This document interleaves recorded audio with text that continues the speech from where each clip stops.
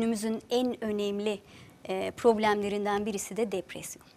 Herkeste var artık çocuklarda var, büyüklerde var, yaşlarda var. Gerek ekonomik koşullar, gerek e, ülkemizin e, bulunduğu içindeki durum vesaire, ya- gelecek kaygısı bunları da eklediğimizde aslında depresyon, depresyon hepimizi etkisi altına alan bir oluşum. Evet. Peki depresyona böyle bir çözüm var mı? Alternatif tıpın içinde yer aldığı bir e, durum, bir çözüm var mı? Tabii tabii. Depresyona karşı çok güzel formüller var. Depresyonu birçok faktör tetikleyebilir. Ailevi durumlar, iş durumları, iş yerindeki şartlar, çevre, Evet. arkadaşlar vesaire vesaire. Fakat depresyonu asıl tetikleyen faktör kişinin kimyasal ilaç kullanması nedeniyle antibiyotik, antihistaminik, antidepresan vesaire vesaire kullanması nedeniyle bağırsak florasının bozulması. Bağırsak florası ne demek? Yani bağırsak çiçekleri demek. Flora. Flora çiçek. Bağırsak çiçekleri. Bir insanın bağırsağında 2 kilo bakteri var. Bunun %98'i faydalı. Vitamin üretir. B6, B9, B12, K vitamini vesaire vesaire. Ama en önemli bir şey daha üretir. Faydalı bakteriler laktik asit. Laktobacillus bakterileri laktik asit üretir.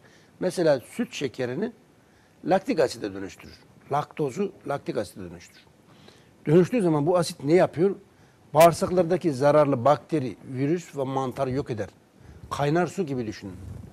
Fakat faydalı bakteriler kimyasal ilaç kullandıkça azalırsa yerine mantar yerleşir. Çünkü asit oranı pH'i 3-4'ten çıkar 5-6'ya ılık su gibi olur mikrobu öldüremez. Öldüremezse bağırsağa mantar yerleşir. Mantarlar ne yapar? Etan, metan, bütan gibi zehirli gazlar, etil alkol, metil alkol, bütil alkol gibi zehirli alkoller üretir. Bu toksik maddeler ne yapar? Bağırsakları yakar. Bağırsak kendini korumak için ne yapar? Yağlanır, yağlanır, yağlanır. Yağlandıkça enzim salgılayamaz. Enzimler azalırsa birçok hastalık ortaya çıkar. Bu enzimlerden biri DAO, diamino oksidaz. Bu enzim histamini minimum seviyede tutan bir enzim. Bu enzim azaldı mı histamin yükselir. Ya Bu hocam da- birazcık daha böyle e, anlasın seyircilerimizi istiyoruz. Yani buradaki eğer kendini bağırsak korumaya alıyorsa bu durumda aslında ekstra bir Yağlandığı şey için yapıyor. enzim Yağlanıyor. salgılayamıyor. Enzim azaldı mı Nasıl bir histamin etki çoğalır. oluyor o zaman Enzim azalıyor. üzerinde?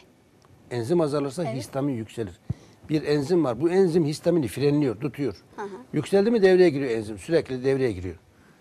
Bu enzim karaciğerde, böbrekte, aküyolar her yerde depolu var. Tamam. Fakat bu enzimi salgılayan sistem bozuluyor. İlaç kullanarak.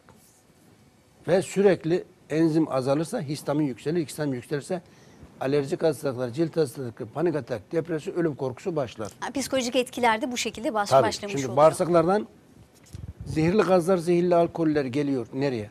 Karaciğer. Bağırsaklara vitamin, mineral, enzim gelecek ki karaciğer kan yapsın. Karaciğer nedir? Mutfak.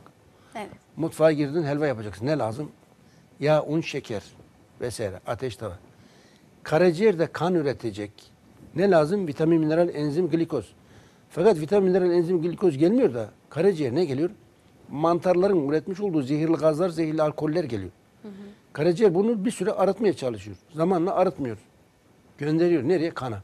Kanda dolaşıyor. Hangi organda biraz depolanırsa orada tahribata sebep oluyor. Ve en kolay da beyne depolanıyor.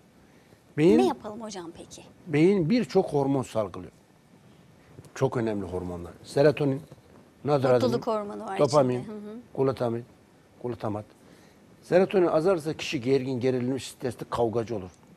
Kimse tutamaz. Hep kavga yapmaz. Bu yüzden mi acaba çok kavgacıyız? Peki hocam ne çözümümüz ne? Şimdi bize Kavgacı çözüm insanlar, lazım. özellikle siyasetçilerin hepsinin bağırsağında mantar dolu. eyvah eyvah önce Durmadan oradan kavga başlayalım. yapıyorlar. Oradan başlamamız lazım.